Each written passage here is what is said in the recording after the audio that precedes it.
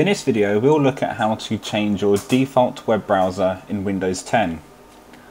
To get started, click Start, Settings, System, and then on the left hand side Default Apps.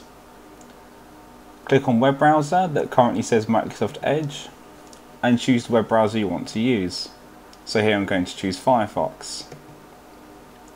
You'll also find in Windows 10 that Microsoft Edge wants to open PDF files.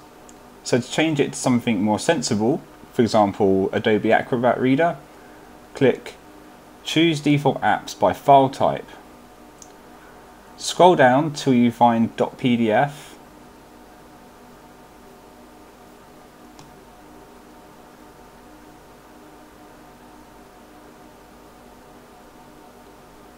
and then click Microsoft Edge. From the little window that appears, choose your your um, chosen PDF reader. So in my example here, it's Adobe Acrobat Reader.